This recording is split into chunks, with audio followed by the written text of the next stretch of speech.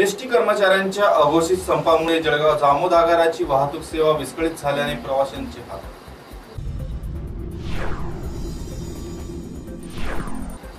संग्रामपूर येथील संत गुलाबबाबा विद्यालयाची इयत्ता दहावी शालांत परीक्षेत सुयश.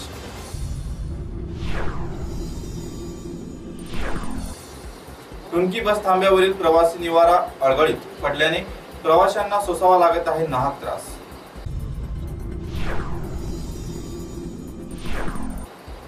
संग्रामपूर तालुका कृषी विभागाच्या वतीने वकाना शिवारात करण्यात येत आहे.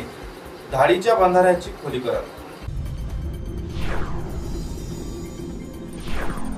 जळगावसह संग्रामपूर तालुका परिसरात मोसमी पावसाचे आगमन झाल्याने शेतकऱ्यांना दिलासा.